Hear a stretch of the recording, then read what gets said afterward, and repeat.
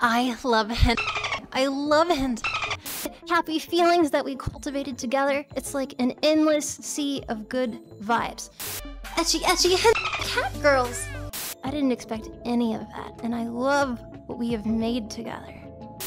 I have so many things that I can whip out and show you. Do you, you guys want me to show you something? Okay, In the dynamic world of online entertainment, Projekt Melody has emerged as a trailblazer, with a unique journey transitioning from traditional camming to the virtual realm of VTubing. Her journey has reshaped the landscape of adult content creation forever. Projekt Melody made her debut on Chaturbate in early 2020, donning a 3D motion capture suit that challenged the conventions of traditional camgirl performances. Back then, a virtual camgirl was never heard of. Heck, even VTubers were an extremely rare case, especially on the western side of the world. The prospect of hand and waifus existed, sure, but they were simply products meant to be consumed through reading or watching. Never before you could get a virtual waifu to interact back with you. Melody's success was so immense that it triggered a swift response from the camgirl community. Her journey at her beginnings was marked by a mixture of curiosity and resistance from her peers and onlookers. So the MMD community is is small, and weebs, we are a subculture. So I never expected to cause such a ripple that by joining an adults-only human website that there would be such calamity that it would drag in viewers off-site to there that normally wouldn't even be there. Melody's popularity soared quickly. Her Twitter following skyrocketed as she gained hundreds of thousands of followers in less than a week. Her Chaturbate streams garnered immense attention in the tens of thousands of viewers in a matter of days. So you have gained like popularity so rapidly. The top Chaturbate girl by a landslide, over 100k uh, followers on Twitter, and you have done this all in less than a week. How does this make you feel? It's it's crazy. Like who can expect to become a meme? You don't you, you don't do it on purpose. Like the community has to decide for you. It's it's crazy. The amount of viewers she would single-handedly pull on the website would crash the platform repeatedly. On Valentine's Days alone, she had 30k viewers, something never seen before, and this event made Chaturbate go down for the holiday as well. Well, we have crashed Chaturbate a few times. Oh wow, you actually broke the website, holy crap! Melody was truly unique as she was the only camgirl VTuber to be on the website. To put it in perspective, the Chaturbate recommended section more room like this, and wouldn't even lead anywhere, as it would return an error page saying, sorry, we don't have any room similar to the Projekt Melody yet, because all the other camgirls were human. However, this success wasn't without its fair share of detractors leading to the creation of various memes and attracting criticism from the public and from her peers alike. Let's be clear here, the adult industry is already generally frowned upon and perceived as promoting unrealistic expectations. And don't get me started on anime girls. Oh god. I think we all know that no one can possibly live up to an anime girl. Although a lot of celebrities are getting dangerously close to these unrealistic proportions, there's just some stuff there that defies gravity. And that's fine.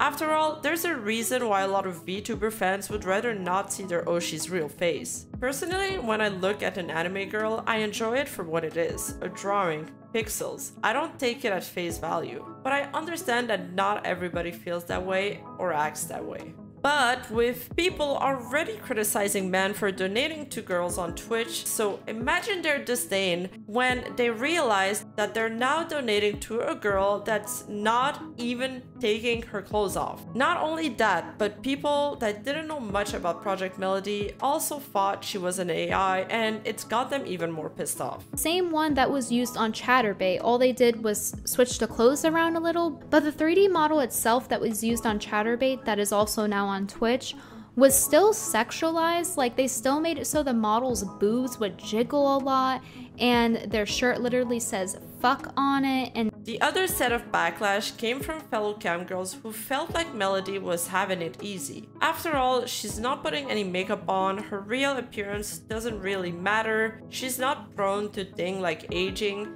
and she wasn't actually getting naked. Some of these girls had to work a full month for $500, and Melody was getting these amounts in a matter of minutes. Get with the times. We don't we don't like we don't like real women anymore. What you mean these virtual women go online and make money and I have to spend three hours putting makeup on? Yep. Get over it, whore. Your days are over. Your womb is drying up. My womb is eternal. Adding to that, there is also a sense of vulnerability when you're streaming yourself live, and even more so when you're not wearing any clothing. Sometimes, as a streamer, you gotta deal with trolls or egregious viewers, and in those instances, it's sometimes difficult to not let it show or appear visibly concerned. But when you're a VTuber, even when you're uncomfortable, you always look welcoming. And I think that part really struck a nerve with her peers because they felt like she had it easy. Not only that, but workers have to live with the consequences of their work in many ways. People view them differently, they'll treat them differently, but also if they ever want to do something else with their life, their past will follow them forever. However, Melody possesses an avatar and a persona she can shed at any time and start over, providing her a unique avenue to navigate the challenges that many in the industry face. Cottontail VA is one of the most prominent YouTubers nowadays and she agrees with this. In a recent article from Dexerto, she says, I am an acupuncturist, so if I want to someday work at a fancy clinic, they would do some research.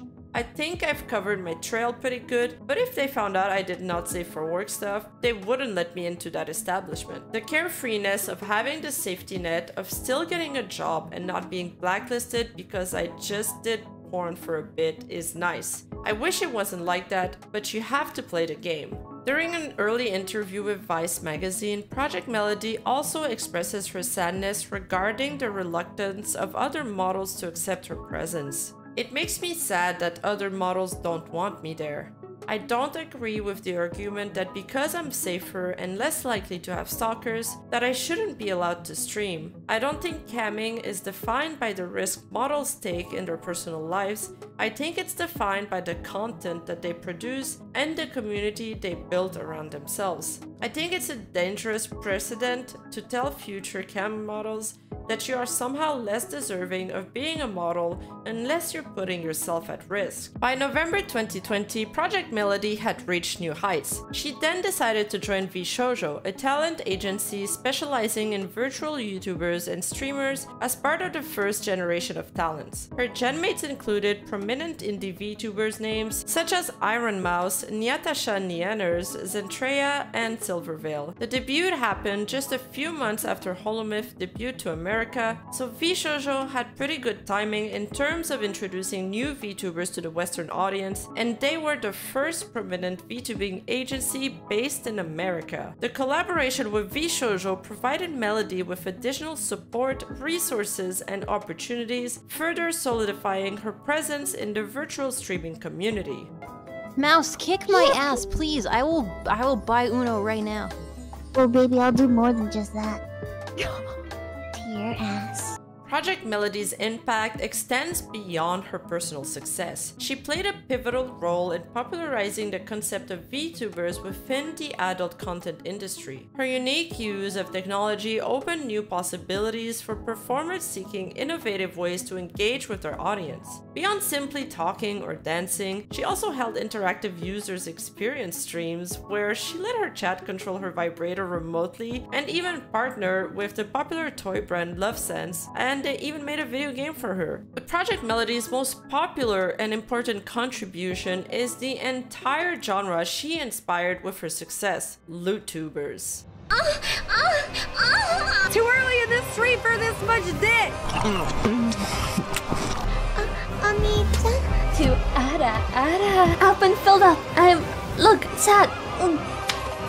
Yeah. Smack that cake. An entire generation of VTubers destined to entertain all kind of horny viewers. Sure, LewdTubers existed prior to Melody, especially on games such as VRChat, but their popularity soared after people realized her success and the appeals to what she was doing. Remember when I mentioned there wasn't even a way to classify her when she first started on Chaturbate? Now there are so many LewdTubers that there are entire websites dedicated to creating directories to help fans navigate them all. And unlike the regular 2D models you guys are used to seeing on this channel, I find the LewdTuber genre interesting because they have a really wide array of avatars that they use, and they don't necessarily all fit the standard appearance of VTubers that we've come to expect from companies such as Nijisanji or even Hololive. And one thing that I really thought was always a downside of L2D VTubers was how limited in the type of content you can make. So 3D modeling really remedies a lot of those movement restrictions. Nowadays, LewdTubing has evolved a lot. This Days magazine article explains how they aren't limited to their VTuber selves anymore. If they're comfortable, there are many opportunities for LewdTubers to make adult content, if that's what they want to do. If you guys want to learn more about LewdTubers and the different struggles they face, I highly recommend my colleague's Lycoris Banashi video on this topic. Behind the virtual avatar lies a poignant story, one of loneliness and a yearning for connection. Melody's decision to embrace virtual interaction and sexuality was rooted in a personal quest for fulfillment and a desire to bridge the gap between performer and audience. She talks about feeling extremely lonely and felt envious of those girls that got to interact with their fans every day. She built the Projekt Melody character to cure this loneliness with the help of a team, namely the model designer Digitrev X. Little did she know that the person who helped her build this passion project would end up becoming one of the sources of her biggest anxieties and fears. As fate would have it, success and financial gains often alter individuals, and unfortunately, in many instances, it can change the fabric of certain relationships. To say that Projekt Melody's journey was marked by challenges was an understatement. Disputes with her former friend and business partner Digitrev X over commercial rights and controversies with companies like Waifu added layers of complexity to her rise. Chaturbate crashes, bans, and headline-grabbing incidents fueled an ongoing narratives of high and lows involving the internet discourse. And from what we know of the internet is that when something is a hot topic, everyone wants to add their two cents. On an innocuous day, Projekt Melody's channel out of nowhere just shut down and got banned without any explanation. Of course, everyone jumps to the conclusion regarding the nature of her content, but she then revealed that her channel got in fact banned because she didn't own the commercial rights over her virtual body. The artist with which she had collaborated with in the past, Digitrev X, proceeded to copyright claim every single one of her videos, claiming he was the rightful owner of her body. Remarkably, her channel was reinstated after a mere 8 hours, but it was then that Melody revealed in a TwitLonger that she had been dealing with this predicament for months on end. In there, she explains that despite weeks of public posts on Twitter, Melody initially tried to ignore the drama. However, as Digitrev intensified efforts to deplatform her, she felt compelled to respond publicly sharing evidence. Melody then shared an invoice indicated she had paid $5,000 for her entire body and design. She showed messages between them confirming Melody's ownership of the intellectual property, but unfortunately for Melody, they never solidified this via contract and that's where Digitrev X is biting back. The conflict took a complex turn when he proposed a partnership deal with this company, Giga Music Group. In her own words, Melody explains that at some point he asked if I would be interested in a partnership with this company, Giga Music Group. I was interested in hearing about the deal, but at that point, I hadn't agreed to anything.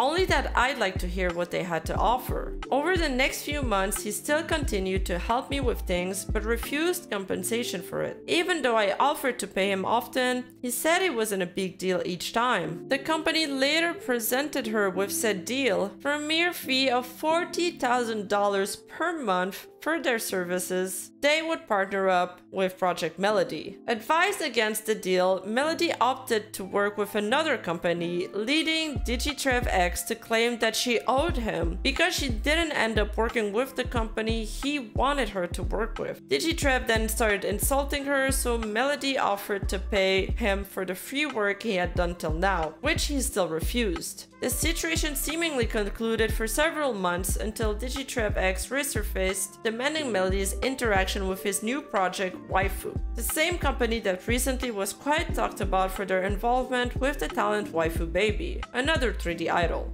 Despite her reluctance, he insisted she owed him and vaguely threatened that he would go blab to Vice magazine. In a final attempt to end the harassment and threats, Melody reluctantly agreed to boost Waifu, provided Digitrev X signed a document affirming her ownership of the assets he contested. However, Digitrev responded with further demands, requesting then $45,000 and a 25% cut of all merch sales. This ongoing drama had taken a toll on Melody, which led her to the decision to finally block him after enduring continuous public slander. The Twitch ban stems from Digitrev X's misguided belief that he owns Melody's virtual persona, despite evidence suggesting otherwise. Digitrev X then in turn also took to Twitter to give his side of the story. Note that his TwitLonger is extremely long, so I'll do my best to summarize this. Essentially, he recalls that when he started working on Projekt Melody, he did it in good faith and never intended to take on so much burden outside of the 3D modeling, saying he was directly involved in a lot of aspects of her career, including her success, and that it became a full-time job for him. He claimed he invested significant time and effort into Melody's project, going beyond the initial character model to provide ongoing support tech solutions, and even creative assets. He says that he didn't realize how he was cornering himself because he was not able to work on paid jobs during that time, and that the whole time he was working on her projects, he did not feel the need to draw a contract as he assumed he would get paid for his services eventually. He briefly goes over her and her team talking to the Giga Music company, but doesn't provide any clarifications as to why the price offered was was so high, which was the main thing I was curious about. There was also some doxing allegations thrown in the mix, as he explains that he wasn't the one who threatened to dox Melody, but it was in fact his DeviantArt account that was hacked, leading to the exposure of Melody's information and affecting their relationship. Post the launch of the Waifu project, Digitrev X attempted to re-establish communication with Melody, but noted a strained relationship due to Waifu's interaction with Melody's fanbase. He stresses that that, and I quote, never brought up her paid for main character model in any of these discussions. I was seeking something in return for the months of unpaid work I did during her growth period that I busted myself.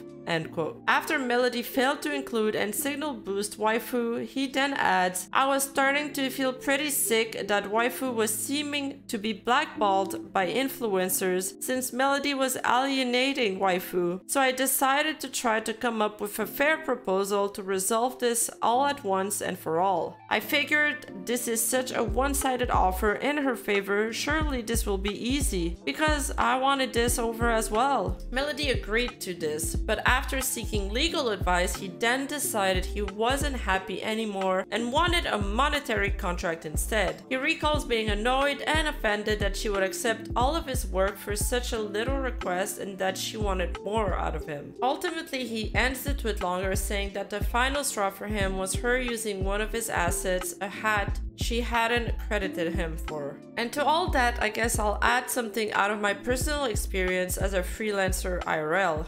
When I work as a freelancer, I have a set rate. Sometimes I accept jobs below that rate under certain terms or conditions because sometimes, you know, you're like, well, a smaller amount is better than zero. Or sometimes simply because it's a passion project or a creative project you think will be worth your while. But once you've accepted those terms, you really need to live with it. And if ever you want to renegotiate a new deal, you totally can, but you really need to advise your client throughout your process. You can't just hit them with an insane surprise bill by the end of the process. That's my two cents on this, and it honestly saves a lot of trouble in the long run. Projekt Melody sparked controversy once again on Twitter, the platform where all the offended people are, by announcing a collaboration with Amouranth. The collaboration between the virtual streamer and the well-known worker and streamer Amouranth stirred discussions about the intersection of different online communities and the evolving landscape of content creation. Melody's decision to collaborate with a worker prompted debates within the community, highlighting the perceived hypocrisy of those who embrace adult content while simultaneously criticizing partnership with individuals from the work industry. Or it could just be Twitter being Twitter and needing something to talk about again. Projekt Melody's influence extends beyond her individual success. Her journey challenged preconceptions and reshaped the online entertaining landscape. The legacy she leaves behind will continue to impact the evolving world of virtual interactions, showcasing the transformative power of innovation in the realm of adult content creation and VTubing. And that's all I have for this video today. Thank you guys for tuning in. We're on the road to hit the 17k viewer milestone by the end of the year and I need your help to get there. So if it's the first time or it's been a couple videos that you've watched, make it official, hit that subscribe button, and once we hit that goal, I'm commissioning a beautiful fan art from an amazing Japanese artist and you won't want to miss it. So make sure to hit the subscribe button and ring the bell so you never miss an update. And for some exclusive content and perks, hop over to my newly launched Patreon to get access to brand new videos that probably won't be on VTubers, but where I'll be talking about everything adjacent and everything that doesn't quite fit with this niche and that I can't put on my channel. Thank you so much for being part of this fantastic community. Until next time. Although a lot of celebra although a lot of celebrities are getting dangerously close to it. Although a lot of celebrities are getting dangerously I can't say this word.